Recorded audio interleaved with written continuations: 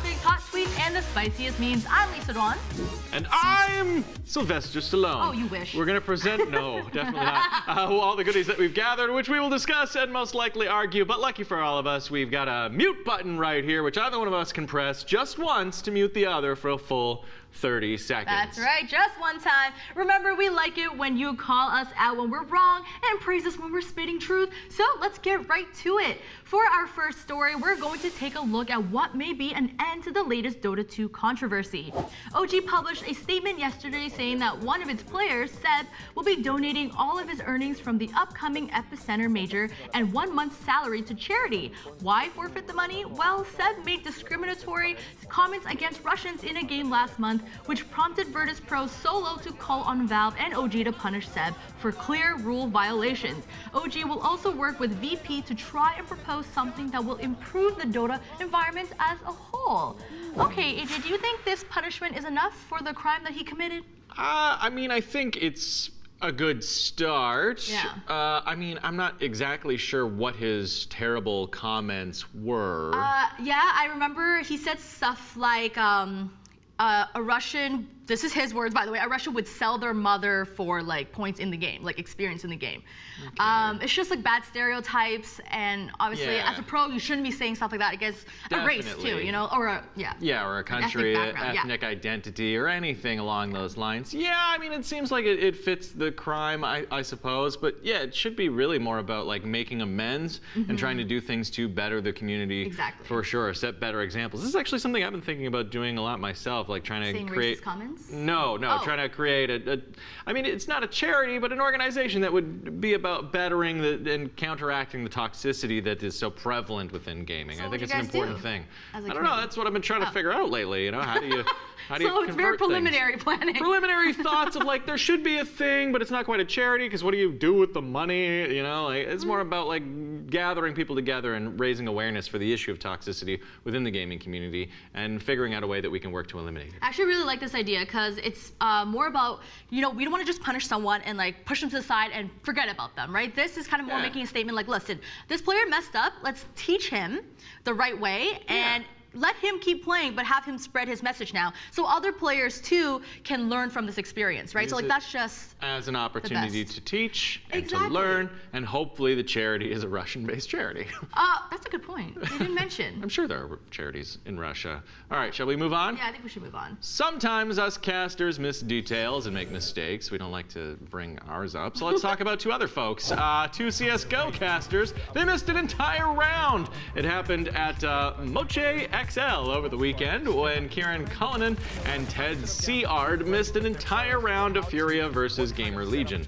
The duo was so caught up in analyzing the previous round and the production crew was so focused on the crowd that by the time they noticed the game was back on, the round was nearly over. So, Lisa, Yikes. what do you think of this mistake? Is this going to ruin their careers or maybe boost it because now they've done something that's worth talking about? I mean, that's fair. There's no such thing as bad publicity, right? Right. Uh, but I don't think this is his fault at, or their fault at all. Like, they were busy doing their job casting, and this is more Yeah. on the production side where they messed up. Uh, behind, like, they need to be on track with this. I don't know if they need a producer or something, because, Well, you know, we know some producers. This here. is what I was about to say. I mean, the term for the What's going people on? at the desk in the business is talent, but quite honestly, it's a misnomer. We we don't have much of that. We have the people in our ears who help us. They communicate Whoa, to us that's covertly. television secret. We're Oh supposed to- we're not supposed to- no! oh no! Spitting some truth. Oh no! F's in the chat.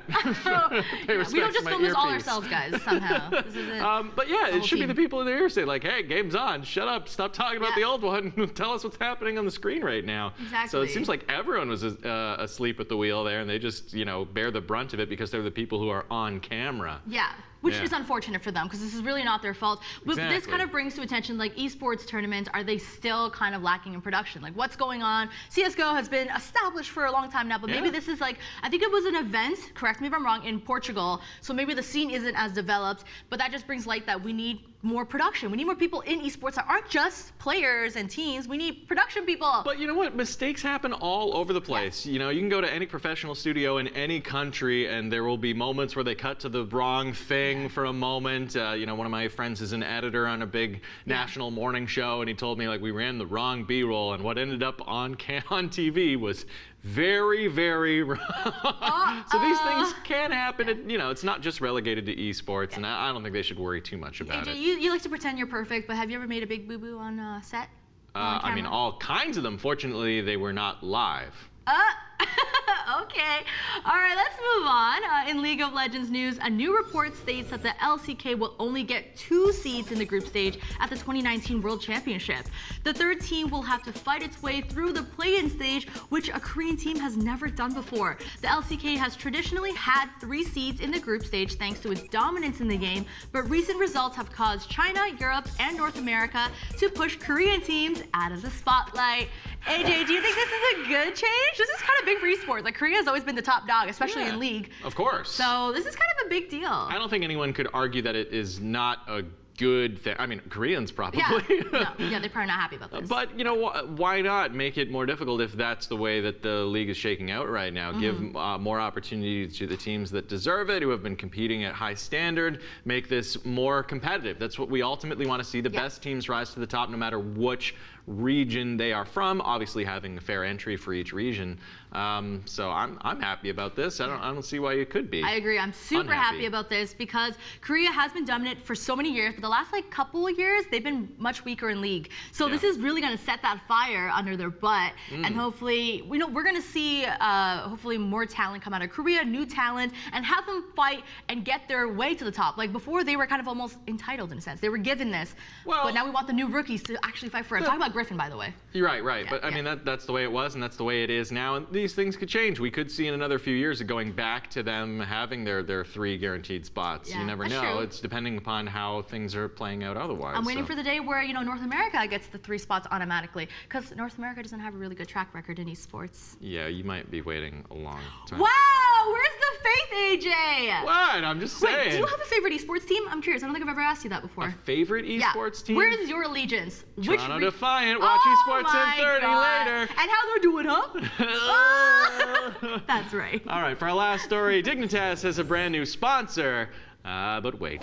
It's a betting platform called Vie.gg. There has long been a concern in esports communities that betting and gambling sites shouldn't sponsor esports teams due to, well, you know, the con- connotations with match fixing. Vie.gg will sponsor Dignitas's Rocket League, Super Smash Bros., and female CSGO teams. Lisa, is this wrong? Should betting, betting and gambling websites and entities sponsor esports teams, or should we just make that a hard rule? No. I'm kind of torn. I can kind of see both sides on this one because on one hand, I think You are a chronic gambler, I'm and you not want a chronic all gambler. I've won a couple scratch cards a couple of times, but I'm actually horrible at gambling. I'm the kind of person that doesn't know where to stop. So I guess maybe this is kind of good for me. Right. Uh, no, I think betting websites they got the money, and I don't really see an issue them giving money to teams and supporting teams financially as long as they don't match fix. But that's kind of an assumption that you kind of have to assume that like these people aren't going to just do crimes in match fixing, That's right? the thing. Like match fixing is such a simple thing that can take place between two people. If you've got a big sponsor Yeah. of your team who's already given you and your players a lot of money, and he just like walks up to you a few minutes before your match and shakes your hand and looks you in the eye and says, Let's do it. "You're not looking so hot tonight." like that's all the communication that's that's so mean. Well, I don't I mean that to you right now. I mean, you look great. today. I just mean like if you know, if you're a player, you're a young kid, you're 20 something, and someone who has given you a whole lot of money is hold like holding your hand and looking you in the eye in an intimidating way and telling you, without using words that are overt, but sub- Yes. subtly telling you to throw the game. Okay. What are you gonna do? Yeah, but this this is kind of like a side topic because this is about a betting website sponsoring a team, right? Obviously, match fixing is very tempting for players, but for the organization to like sponsor a team, I think uh, they don't care who wins in a match as long as there is betting involved, right? Like they just want Yeah, people but to I mean, the people who are connected at the top are going to know which outcomes are going to produce the best results for their own organization, the betting website itself. Yeah. So they're going to have that influence. They're going to know that and be able to put that power to use. And it's on their shoulders not to do that. So it's, it is gray area here. I, I think that it really should be a hard rule that gambling websites shouldn't even be like in hard. in contact with your top stars and your players, at least within a few days of a big event. I don't know. I kind of want to believe the fact that esports players and teams they want to just win, and money is not going to tempt them to think otherwise. That's whatever. It, that's my That's- stance. yeah, you got a very optimistic view. I- I hope can so. That's- appreciate that. I just disagree fundamentally. That's fair, that's fair. But it's time to check in with streamers in Clip It. First up, this is how Katerino reacted when chat told her to cover her shoulders. God, dear God, I am very sorry for being so scandalous as to show my shoulders on the internet. I am very sorry. I showed. I showed my shoulders before marriage, which is a sin. Are you guys gonna ban me right now? Oh, wow, no. you're just sinning hardcore over there. I know, I'm basically naked. What's going on here? This is actually, I love her take on that because Yeah. she's obviously like satirically making fun of the fact that Yeah. people are criticizing her for showing her shoulders. Hello? Yeah. What's so se- okay, I'm not gonna go there. What's so sexual about shoulders and feet and I guess all this other stuff? But the point is, you know what? I'm gonna keep it simple. I'm not gonna rant. But the point is, a woman's body or anyone's body is up to them how Yeah. they want to show it or handle it. No one should be able to tell you what to do. Imagine if I were to tell you guys, or you know, AJ, your wrists are very sexual and you shouldn't be showing it. Like, how do you feel about that? Actually, really weird because I've always thought I had like dainty, Dainty? wrists, and Mm, I was always ashamed of them. So They're- really just boosted my confidence Or- now. Thank you. But the point is just like an arbitrary like body part, No, right? Like yeah. your elbows. You can't show your elbows. It's just we should not be telling people how to show their bodies. Especially like on, on Twitch, it's a weird thing when people show up in your Twitch chat and start making comments about you, and you're like, you've hardly said hello to me at this point. You just like walk, like imagine walking into a restaurant, just going up to someone's table Yeah. and saying, hey, that shirt you're wearing kind of makes you look dumpy, or Yeah. like whatever comment. It's like I didn't ask for this. Yes, I'm on stream and you can come in and engage in conversation, but conversation is different than like dictation or Yeah. commentary on how you present But as I a think that's the danger of Twitch, right? Because when you're streaming and you're asking for donations or support, people all of a sudden feel entitled to tell you what to do. Fair. That's why I don't ask for donations or support. You can, but I, you're never going to hear me asking for it. yeah, for because it. then they all of a sudden feel like you owe them something. You want my money? Well, you're gonna do this for me. Dance, monkey, Oh, yeah. dance. I've had like- those weird things too, like do this and I'll donate something. I'm like, uh, you don't have to. I'm fine. Yeah, I'm- it's all about you want to support your streamers and your content producers because you like their content, Yeah. not because you want to tell them what to do. Okay, this is Well, in the medieval age. Some people do want to tell them what Well, to do. get out of here. Okay, I want to show my shoulders all I want. They look great. Next up, during an IRL stream, uh, NymN took an opportunity to imitate uh, Dr. Disrespect. Yeah, yeah, yeah, yeah, yeah. Is it an actual bathroom? Is It's an actual bathroom. Yeah, Raul Gillette, the best a man can get. Click, click, click. Raul. Oh God, I just got banned. No, we're going to the garage. Oh, shit. Come and come. Well, it's been nice knowing you guys. Delete the VOD. Delete the bot. So, good. how long do we suspect these uh, Dr. Disrespect memes are going to hang around? They're, they're fairly low hanging fruit right now. You know where you can find a lot of low-hanging fruit? Where? The bathroom. Yeah. So the jokes will continue. I mean, I think it's deserved. First of all, he's a personality on Twitch. If you put yourself One out the biggest. that way, you're gonna get memed and made Yeah. fun of, and especially when you mess up like that. Well, he's already making fun of himself. I know he like tweeted out some uh, new emotes that may arrive on his No. channel when he gets back, and they are the emote of just like the doc's face appearing above the bathroom door. Then how is this not a It's like- confirmation that it's a conspiracy? He planned this. Well, it seems like he doesn't even care. Like he's just laughing about it himself, and like he isn't taking it as seriously as he should. Of course, he did post that apology video, but like. That's all it takes now to get over a scandal online is a I'm so sorry video, and then Yeah. you're back a few days later and still Like, making how all the far money. does he have to take it before he gets, you know, like the people aren't behind him anymore? It's not funny anymore. He literally went into a bathroom and was streaming in there. How is that okay? I don't know. I mean, if there was someone maybe naked, he caught someone actually, then that probably would have been it. But I don't know. Streaming is so dangerous. Twitch IRL is so dangerous because we're not drawing lines anywhere, at least No. not at the moment. And I think we have to start. In the, in the years to come, there will just be no more privacy when you're out in public. I mean, obviously we thought of that, but no more privacy from recorded or, Yeah. or having the potential for your image being broadcast to a grander audience. You're just gonna have to expect the danger of that. That's kind of what I expect. When I go out, I don't assume that I have any sense of privacy. Even with my phone, I like if the government's watching and looking at it, go ahead. Like I have, I'm already expecting it. Yeah. So all the weird Just stuff that I post is for you guys that I have in my phone. Showing your shoulders to the government. True. appreciate it. True, true. All right, it's time of the day again where we scan through Twitter and bring you the very best tweets from all your favorite pros. Welcome to Profound Thoughts. Our first tweet is from Smashcaster Rodney Conyers with some wholesome fan mail. He shares this. I love getting fan mail. Heart face. The message says, bitch. Oh, that's so sweet. I meant it in an endearing Oh. way when I sent that text. As you know? if AJ Right? sent No, that. He's the nicest guy. But I want to know what was the least nice message you ever got? What's the I've biggest hate mail? s- Um, you know, I've had like odd, just mean-spirited ones. Also, you got my messages. Yeah, exactly. Don't appreciate those, Lisa. But I have had some like weird ones in the past. Like someone from, someone requested my used pairs of shoes. Shoes? Yeah, like the first message was like a, just a general inquiry thing, and I replied kindly. And then like the next message was like, I noticed you wear black vans on the show frequently. When you're done with your black vans, could you please mail me your black vans? And What do you think like, he's gonna do with them, AJ? I don't want to imagine what he's going to do with them, but ultimately I did not send this individual my shoes. What about you, Lisa? I mean, I different got- question for women entirely, huh? Well, we're talking about like hate mail. I'm not talking about the weird sexual things because you know those come up every once in a while. Right. But in terms of hate mail, hey, I've done interviews where people are literally like, "This girl doesn't know what the hell she's talking about," or "She's so dumb. Does she even know the game?" Or the best one is like, literally after this interview, they effed. I'm like, what? They Yeah. just assume. I've seen that posted on a lot of things where it's women interviewing like esports stars or even sports stars, and it's like, Yeah, it's what? got it's called chemistry. It's just you know when you're a person that socializes, you have good chemistry with people. Like well, the people who post those comments don't. No, they don't that, get it. They don't get it. Wait, don't- you could talk to people like this? Yeah, they just assume that if they ever get face to face with someone of the opposite sex, that they Sexual will have sex afterwards. What do you think we're gonna do after this show, guys? Go home and play games. Yeah, probably. Our next tweet hails from League of Legends ex pro Scarra with some heartbreaking reality. The tweet says, I remember when I was younger, E3 and BlizzCon were my goals to go to one day in my life.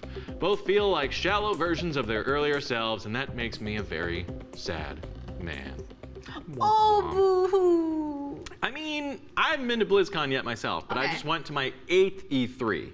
And this one was a bit of a weird one with Xbox not being on the show Right, right, floor and. Sony PlayStation not being there as well. And it felt like there were way less opportunities to actually go and play games. The one time that I had the time to actually go and play some games. Mind you, I was trying to do networking meet people and stuff. But even still, there were like no op- moments where I was walking past something and thought like, oh, I can stop for a moment and, and play that game because there's a demo set up there. There was Yeah. just way more lines, way fewer opportunities This is there. the most entitled argument or discussion we're ever having here. Oh, the E3 out of all the eight ones are so bad compared just- to the other ones. You know, there's people who've never been to E3. You know, there's people who've never been to LA. You know, there's people who haven't even had a chance to do any of that. Here you guys are being all like, oh, sucked. It was only like a little bit worse than last year's. Get over yourself, Scarra. AJ's already. Don't even mute me. I'm fair in what I'm saying. You know what? Everything can't be great forever. Every E3 is not going to top the last E3. Deal That's with true. it. We It'll had probably- Keanu this year. We what did more do you have? Keanu. We walked out on stage. That was a cool moment. Right? Yeah. All sure. right.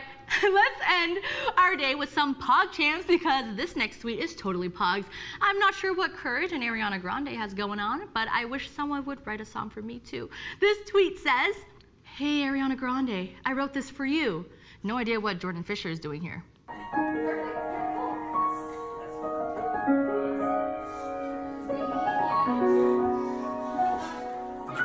Good. That was so beautiful. It's a good bit. I like that one. That- It was, it was beautiful, but that was, was clever. It was clever. I love the emotion he had while he was pretending to play. And you were telling me this guy does have like big feels for Ariana Grande and actually got to meet her. What Oh, happened? 100%. If you guys haven't followed the Courage, Ariana Grande, Nadeshot drama, it's like this guy has been tweeting about her forever. And then because Scooter Braun actually sponsors 100 Thieves, they finally got the chance to meet only for Nadeshot to stand in between them for the photo. So Ooh. Nadeshot, not a bro. Mm. Not a bro. But it's really cute to see how Courage continuously is just fanboying over her. And I want to know, AJ, was there ever a pop star or someone that you fangirled or boyed over like that? Ooh. Uh, Who was I- your crush growing up? Everyone had one. crush growing up? Yeah. I don't. You know what? Actually, I do remember Oh my God. the movie uh, so Wizards, uh, like about Fred Savage and his like younger brother trying to go to like the Super Nintendo showdown in California, and there was like a redhead girl. Everyone in the control room was like, Fred Savage. Like, Yeah, what? remember he was he was in a movie about like Nintendo, and there's the moment where the kid shows off the like the power glove, and he's like, "It's so badass." Chat knows what I'm talking about, and there was like a young redhead girl in that movie. Okay, that's where we're going.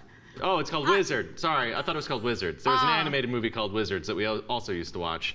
That's another story. Animated. Never mind that one. But Wizard with Fred Savage. It's it's live action, and the girl in that, I guess I had a You crush on her her. I don't remember what her name was, but Oh my that was, that was my childhood, I guess, kid crush. I got many of them now, but let's not Ah. go down that rabbit hole.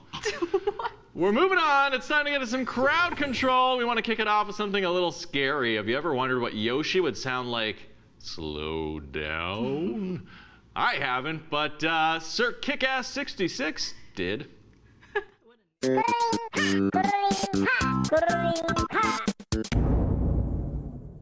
Bring ha.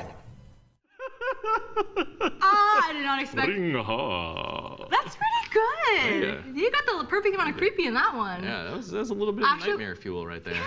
yeah, I like the picture actually better than the audio Right. sound. Uh, Yeah. That picture was definitely going to give me nightmares. I kind of want to see Nintendo develop a game featuring that Yoshi. no! Uh, I'm Yoshi. Hi.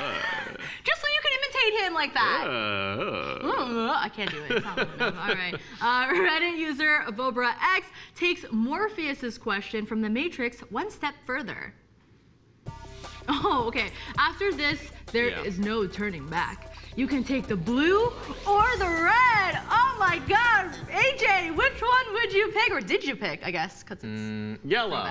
You, you can't choose an option. Play the, AJ, play the game. I don't know. I'm, I'm looking forward to Sword and Shield instead. Oh I don't know what colored boxes they come in, or Are you more of a shield person or a sword person? probably Sword. Same. I feel like I'm a very aggressive person as well. Yeah, yeah, I don't know who's gonna pick shield. If you pick shield, you're a Aggro than, than defense in that respect. Ew. But uh, good meme right there. Our last post comes to us from Dab88 on YouTube and features one of his amazing Just Cause 3 stunts. Have a look. Okay. Vroom vroom. Car though. Yeah. Um. Just driving through the mountainside. What do you think? It's gonna games. It makes me jump anxious. over something and explode? nope. He's gonna Wait. climb out on the hood. Wait. Where is he going? Wait. It's a, it's a surfboard. He is car surfing with a grapple, Um. and not just one or two, Okay. but Wait a second. under three different I'm starting to feel like this isn't a very realistic game. Just Cause 3? It- You're just learning that now. oh no, the car! but he lands it. He sticks the landing on the platform. Ah. Yeah. If only you could do that in real life and avoid this Toronto traffic. Yo, now that's an idea. Okay, Toronto traffic's not that bad. Relax. Once again, people don't understand that we have it much better than other people. But Okay. yeah, I agree. That's uh, that's an interesting Yeah. move right there. That was a fantastic uh, highlight right there. Was it? I gotta go check out more I was from that surprised guy's you stream. dab when you said his name. It was like Right, dab right, right. 66. Okay, we had dab right there. But that's it for Unmuted. Remember, you can always hit us up on all our socials at Squad State just to say hi or send us stuff to react to. We'll see you next time.